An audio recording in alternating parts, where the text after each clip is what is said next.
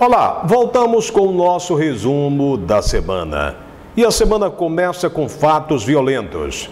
Nós tivemos na última segunda-feira, dia 23, o corpo de um jovem foi encontrado às margens da BR-230, entre as cidades de Samamede e Santa Luzia.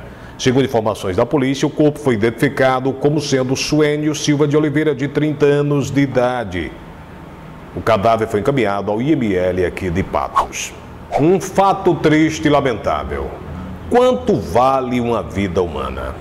Uma garota de programa foi morta esta semana no Vale do Piancó por a quantia de 20 reais. O fato foi registrado na terça-feira 24, quando Ausângela Alves dos Santos, 25 anos de idade, foi morta a golpes de faca peixeira. O acusado é o pintor Gilmar Felipe de Souza, 44 anos de idade.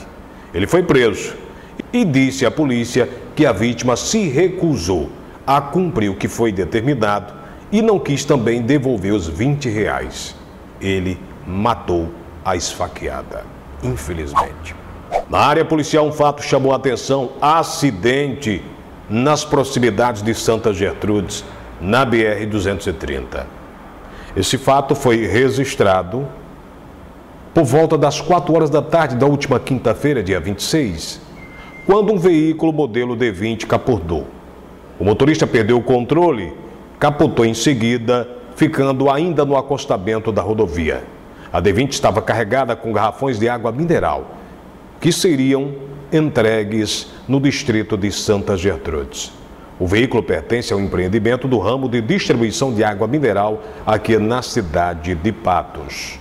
Apenas danos materiais foram registrados neste acidente. Durante esta semana, declarações do prefeito Dinaldinho Vanderlei de que as galerias não era de responsabilidade absoluta da Prefeitura de Patos repercutiram na imprensa local. Segundo Dinaldinho, a Prefeitura tem responsabilidade em parte das galerias. Esse fato também foi comentado pelo gerente regional da Cagepa, Maciel Damasceno. Maciel disse que o que é de responsabilidade da Cagepa, ou seja, esgotamento sanitário, a Cagepa está fazendo. No entanto, a galeria pluvial não é de responsabilidade da Cagepa e sim da Prefeitura Municipal. Esse fato veio à tona porque muitas reclamações estão sendo feitas com relação a galerias estouradas em vários pontos aqui da cidade. Durante esta semana, a polêmica da compra de um veículo veio à tona pela imprensa. O portal patsonline.com noticiou que o Ministério Público do Trabalho determinou o recolhimento do veículo Fiat modelo Uno para o pátio da Secretaria de Saúde do município. O objetivo da ação foi para que se esclareça a compra do Uno ao invés do Renault, modelo Sandero, por parte da Prefeitura Municipal de Patos, durante a gestão do prefeito Lenildo Moraes do PT. Lenildo veio à tona também e fez a sua explicação sobre esse fato. Todos os detalhes, senhores, conferem no portal patsonline.com. Esta semana, a radialista Sandra Cibele deu um susto aos seus amigos e à imprensa patuense. Ela passou mal enquanto trabalhava em seu estabelecimento. Sandra foi levada às pressas para o Hospital Regional de Patos e posteriormente transferida em um UTI móvel para um dos hospitais de João Pessoa. Ela já recebeu alta e faz um tratamento de saúde na capital paraibana. Desejar boa sorte a colega Sandra Cibele. Durante esta semana, o presidente do Tribunal de Justiça esteve em Patos inaugurando atos de acessibilidade ao Fórum Miguel Sátiro. Esse fato foi registrado na quinta-feira, dia 26, quando o presidente do Tribunal de Justiça do Estado da Paraíba, desembargador Marcos Cavalcante, esteve em nossa cidade para inauguração das obras de forma que garantam melhor acessibilidade aos espaços do térreo e andar superior do prédio do Poder Judiciário em nossa cidade. Era uma reclamação da sociedade patuense a falta de acessibilidade. O presidente do TJ disse que isso agora foi sanado. Durante esta semana saiu informação de que as vereadoras Nadir Gerlande do PMDB e Lucinha Peixoto do PCdoB podem assumir cargos do governo Ricardo Coutinho aqui em Patos. Nadir iria para a direção do Hospital Regional, deputado Janduí Carneiro, enquanto Lucinha Peixoto iria assumir a direção do Hospital Infantil no Aldo Leite. Vale salientar que essas nomeações ainda não saíram no diário oficial do governo do estado. Se Lucinha e Nadir assumirem esses cargos, abrem espaços para os suplentes do partido aqui em nossa cidade. Durante esta semana, um abaixo assinado foi entregue ao prefeito Dinaldinho Vanderlei para prestar um melhor apoio aos, à associação que defende a luta dos animais aqui em nossa cidade.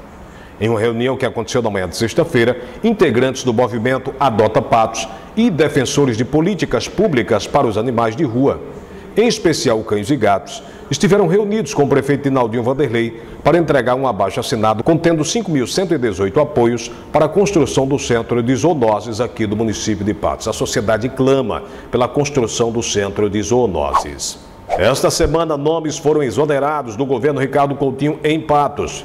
Detalhes: segundo informações de clonistas políticos, os nomes são ligados ao vereador Diogo Medeiros. Diogo, que é do partido de Ricardo Coutinho, mas que ultimamente resolveu declarar apoio a Dinaldinho Vanderlei, prefeito de Patos.